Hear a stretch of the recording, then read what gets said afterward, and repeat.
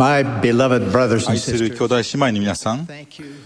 皆さんの信仰献身そして愛に感謝をしています。私たちは主が望まれている人物になり主が望まれていることを行うという非常に大きな責任を共有しています。また散らされたイスラエルを集めるという偉大な技に携わっています。今日この競技についてお話しするのはイスラエルの集合が神の永遠の計画において特異な重要性を持っているからに他なりません。遠い昔主は父祖アブラハムにその子孫を選ばれた民にすると約束されました。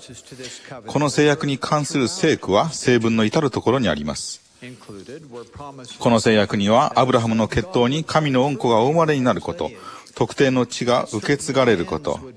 そしてその子孫によって地上の国民と種族が祝福されることなどが含まれます。その制約のいくつかはすでに成就していますがこのアブラハムの制約は末日においてのみ成就するとモルモン書には記されています。またモルモン書には私たちが主の制約の民に含まれていることも強調されています。これらの約束の成就に個人的に携われることは私たちの特権です。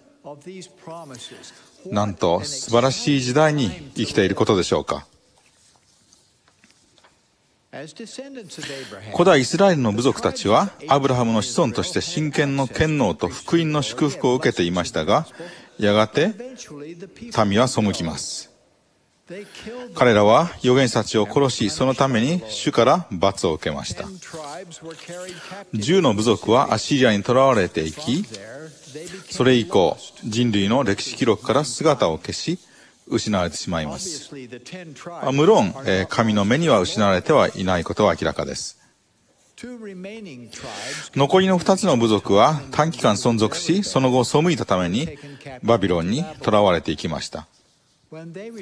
バビロンから戻った時彼らは主の好意を得ましたがその時も主を敬いませんでした。主を拒みそしったのです。愛にあふれる御父は悲しみながらこう誓われました。私はあなた方を国々の間に散らす。主はその通りにあらゆる国々に散らされたのです散らされたイスラエルを集めるという神の約束も同じように明確なものです。例えばイザヤは末日において散らされ剥ぎ取られたそれらの民に主が解く走る死者を送られるのを予見しました。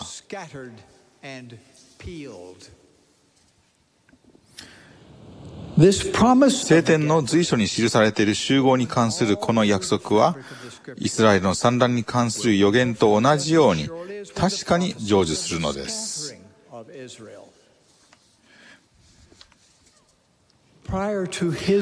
主イエス・キリストは十字架におかかりになる前にご自身の教会を設立されます。教会には使徒、預言者70人、教師などがおり主はご自身の福音を述べ伝えるために弟子たちを世に使わされました。しばらくすると主がお立てになった教会に霊的な腐敗が生じました。主の教えは曲げられ儀式が変えられました。そして、まず廃墟のことが起こらなければ、主が再臨されないことを知っていたパウロが予言したように、大廃墟が起こったのです。この大廃墟は過去の各神権時代を終わらせたのと同じ鉄を踏みます。最初はアダムの時代でした。それからエノーク、ノア、アブラハム、モーセなどの神権時代がありました。それぞれの預言者は、主イエス・キリストの神聖と教義を教える使命を追っていました。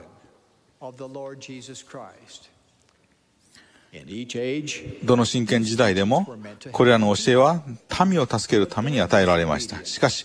民の不従順さが廃墟を生んだのです。そのため、過去の全ての神権時代は時期と場所が限定されていました。それぞれの神権時代が廃墟で終わったため、時期に限りがあり、またこの地球の比較的小さな区域に限定されていたのです。このため完全な回復が必要でした。父なる神とイエス・キリストは、この真剣時代の預言者として、ジョセフ・スミスをお召しになりました。過去の真剣時代に存在した神から与えられる全ての権能が、ジョセフ・スミスによって回復されたのでした。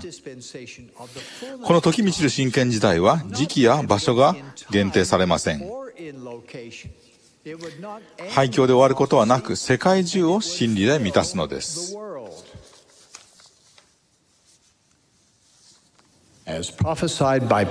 ペテロとパウロが予言したように、すべてのものがこの真剣時代で回復されることになっていました。ですからその回復の一部として、長い間待っていたイスラエルの集合が必ず起きるのです。イスラエルの集合は主の再臨の先駆けとして必要なものです。この集合の教義は、末日性とイエス・キリスト教会の極めて重要な教えの一つです。主はこう宣言されました。私が自分の民、イスラエルの家を長年の離散した状態から集めて、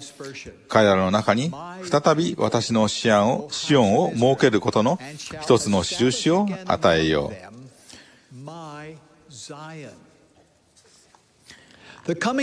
モルモン書の出現は、主がイスラエルを集め、アブラハム、イサク、ヤコブと交わした制約を成就し始めたことを全世界に記す、全世界に示す印です。私たちはこの教義を教えるだけでなく、それに携わってもいます。帳の両側で主の先民を集めるのを手伝うことで、この技に携わっているのです。モルモン書はこの技の中心を成しています。集合の教義を宣言し、またイエス・キリストについて学び、その福音を信じ、教会に加わるよう人々を促します。実際、もしモルモン書が出現しなければ、約束のイスラエルの集合は起きないのです。私たちにとってアブラハムという栄誉ある名は重要です。この名は聖書のどの聖句よりも回復された聖文の中に数多く登場します。アブラハムは末日性とイエス・キリスト教会の全ての会員と結びついています。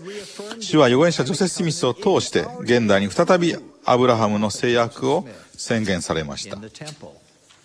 私たちは神殿の中でアブラハム、イサク、ヤコブの子孫として究極の祝福を受けます。この時満ちる真剣時代は神により天と地と両方において集合の時代として予見されていました。ペテロは大廃墟の後に回復が訪れることを知っていました。主と共に変貌の山にいたペテロはこう宣言しています。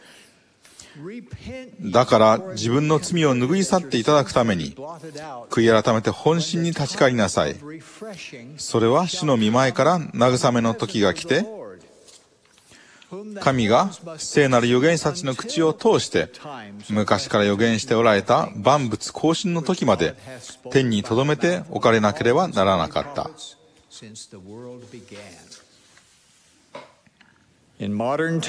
近代になって、使徒のペテロ、ヤコブ、ヨハネが終わりの時代のために、また天にあるものと地にあるものの全てを一つに集める時満ちる時代のために、主の王国の鍵と福音の真剣時代を携えて主から使わされました。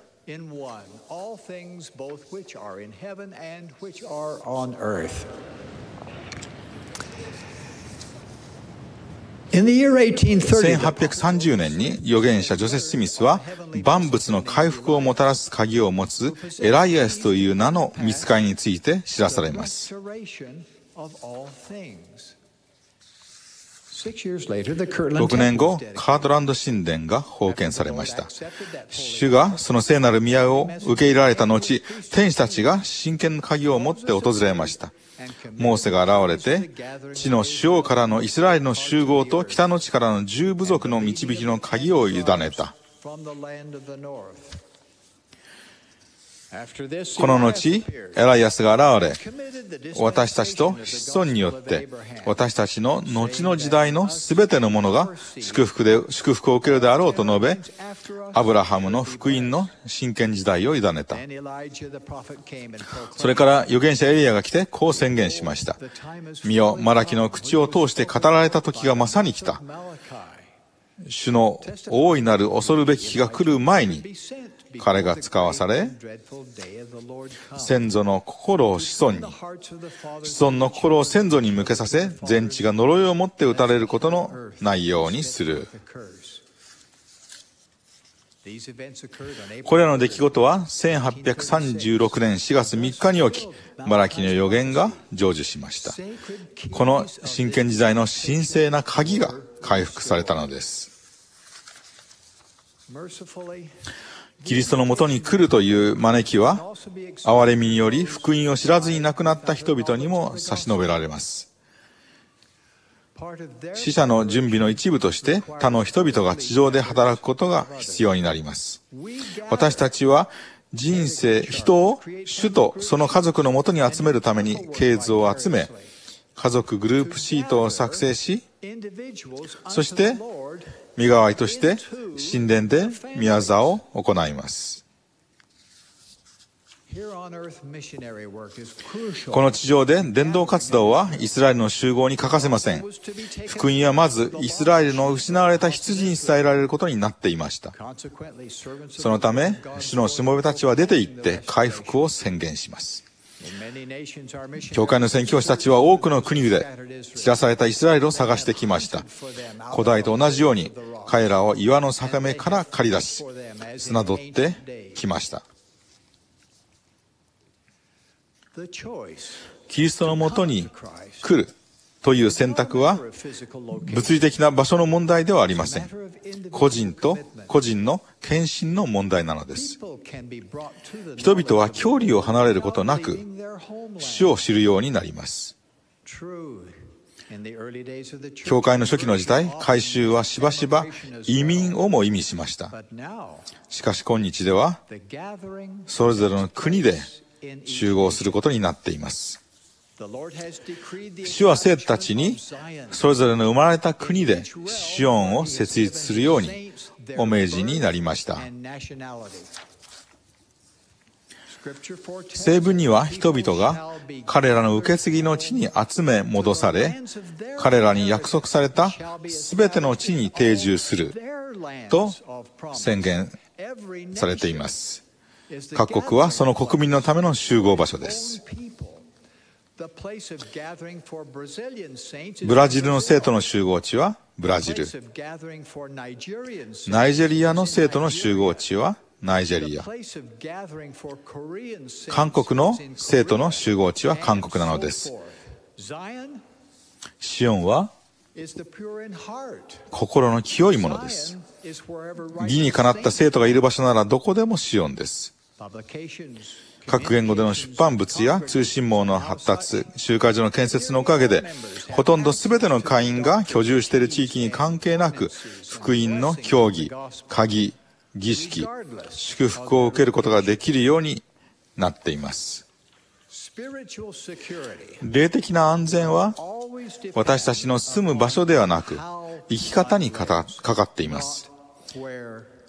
各国の生徒たちは主の祝福に対し同等の権利を得ることができるのです。全能の神によるこの技は真実です。主は生きておられます。イエスはキリストです。この教会は約束されたイスラエルの集合を含めその神聖な目的を果たすために回復された主の教会なのです。ゴードン・ B・ ヒンクレー大官長は今日の神の預言者です。イエス・キリストの皆により明かしいたします。アーメン。